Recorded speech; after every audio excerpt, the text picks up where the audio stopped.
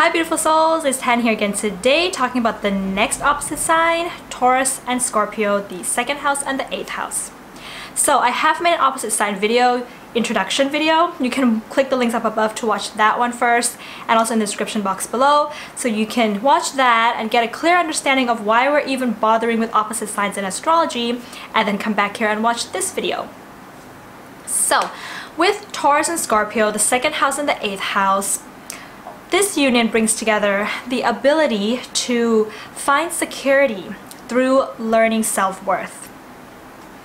So Taurus and the second house, being of the earth element, is all about finding security within the material world.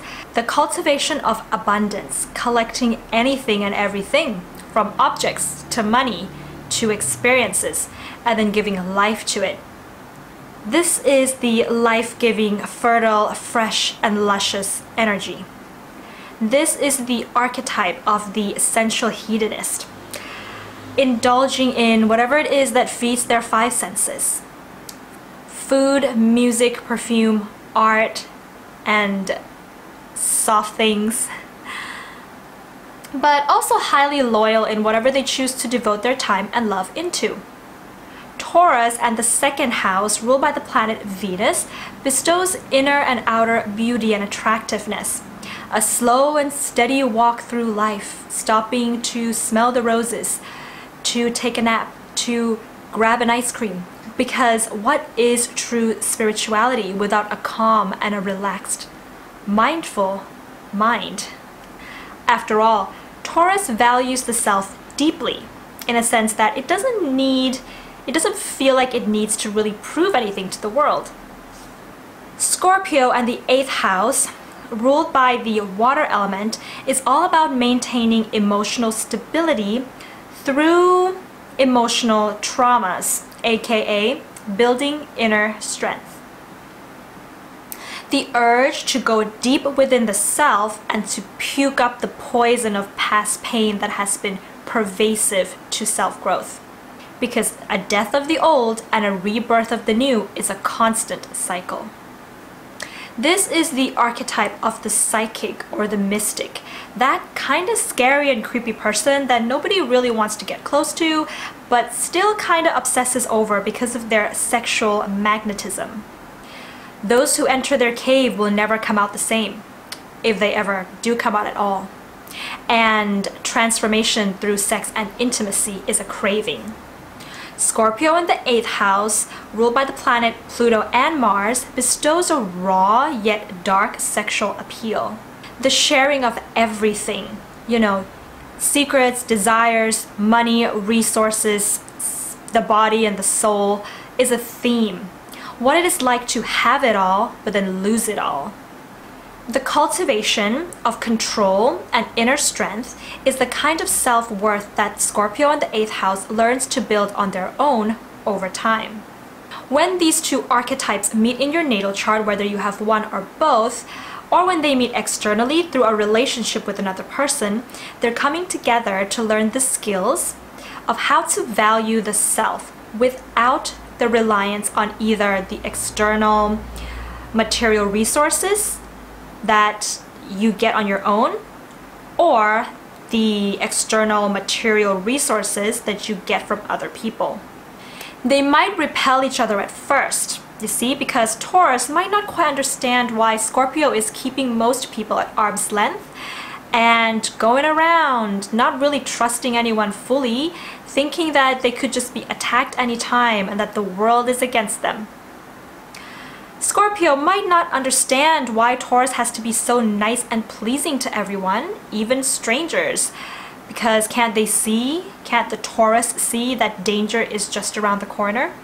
So Taurus might just back away and Scorpio just can't be bothered with this materialistic person. They might also be highly attracted to each other at first because Taurus sees in the Scorpio the courage to live life authentically and that Scorpio has the ability to show them what is lying underneath the surface of everything. Because you see, Taurus is the soil and Scorpio is the underground, or shall we say the underworld. And Taurus has a craving to see what is beneath that soil. Scorpio feels that Taurus has the most beautiful and peaceful way of bringing them up from the underground or the underworld to breathe fresh air to really live and enjoy what they can feel with their senses, something that they were blinded to when they were living underground. This polarity in your natal chart initially can bring a push and pull and an imbalance between yes, I need to prove something to the world, mainly my self-worth, by being able to go all the way with sex and intimacy and my own mind and achieving everything. Scorpio. And I just love myself. I know what I'm worth. And well, I'm worth all the things that I can collect and gather in the material world. Taurus.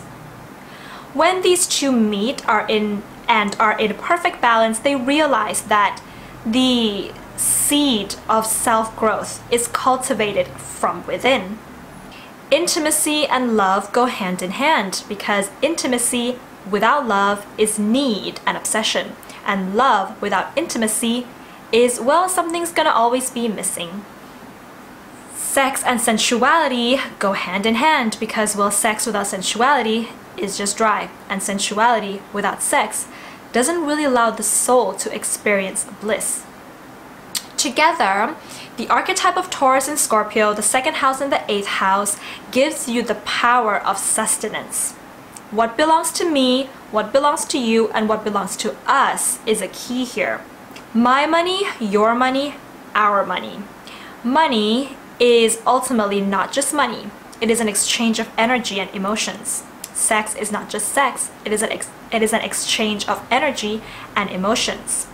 And then there is security from within.